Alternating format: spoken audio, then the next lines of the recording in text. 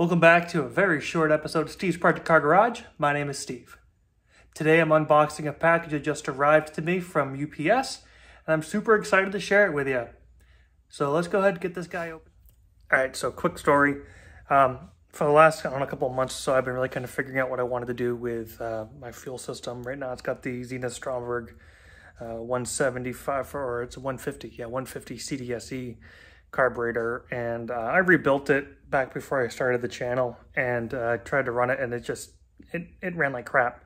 So asking around what some of the best carburetors were, everyone was saying Weber or going with a pair of SUs.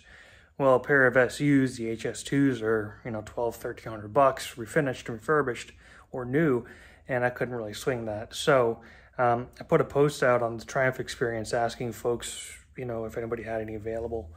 And uh, Kyle, one of the members, uh, jumped up and said, "Hey, yeah, I've got a, I got a set." So he hooked me up with this set for uh, about 200 bucks. Uh, so we're gonna go ahead and crack this open, take a look at it, and uh, see what we got. All right, so I have not opened this yet, other than just cracking open the tape. I was kind of surprised by it because this actually comes with the uh, um, airbox as well, and I figured it would have been a lot larger, but uh, here we go. Let's see, let's see what we got.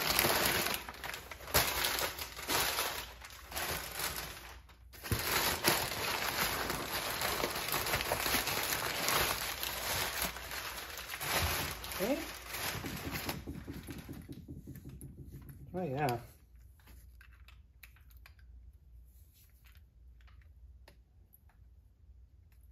Very cool. I've never worked on these carburetors before, so this is going to be all new to me. Seen plenty of pictures of them, though. That's fantastic. So this is like, this is the float bowl where the fuel collects, and this is the actual carburetor itself. It's the CV carburetor, so it's constant velocity. And if I'm wrong on that, please correct me. But essentially, there's just this this damper in here that just opens and closes as the uh, vacuum is created, and this raises and lowers a, a, metering needle, which is on the inside here. I don't know if you can see that or not. This is a dash pot. Essentially, the dash pot gets filled with oil, and it helps with the dampering of the uh, actual piston that's inside of here. So we have one.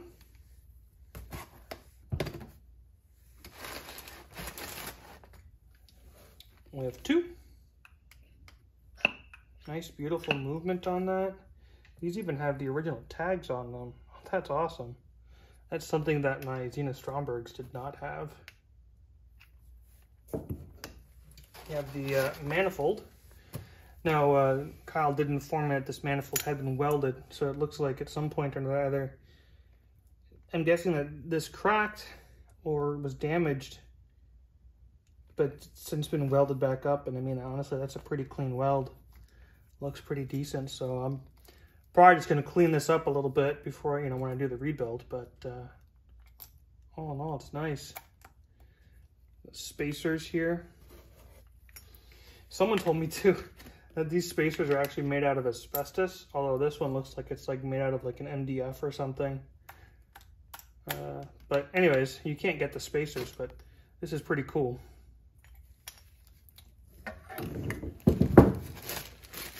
Have the uh, throttle linkages that will link the two carburetors together.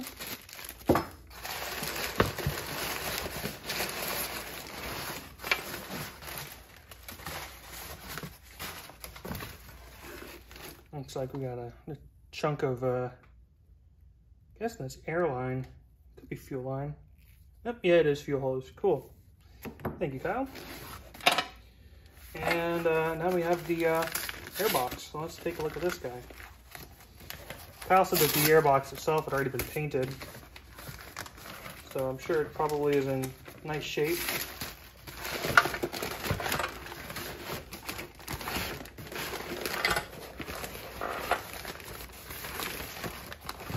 Oh yeah, look at that. That is absolutely beautiful.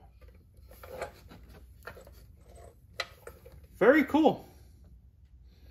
Well, thank you so much, Kyle. I appreciate you uh, helping me out with finding these.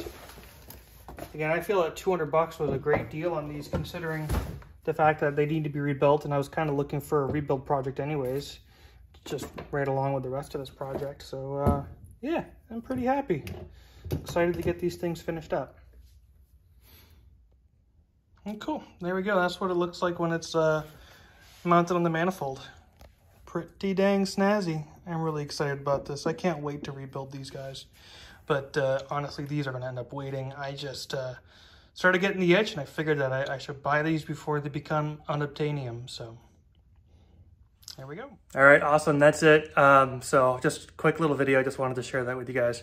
So uh, thank you, Kyle, for the hookup on those, um, and everybody else also too that uh, came out and said that hey, you know, you got a pair of HS2s. I, I really do appreciate it. Um, this community is fantastic, and there's been a lot of awesome folks who have offered to try to help we with with trying to get a pair. Um, and this one just happened to fit my needs with the manifold and everything, and it was just the right level of crusty that I wanted to go ahead and do a restoration on them. So, again, thank you everyone. And uh, yes, again, if you haven't done so already, of course, you know the drill. Hit the subscribe button, click the bell, get those post notifications. Of course, give me a thumbs up. Let me know that you like this kind of content.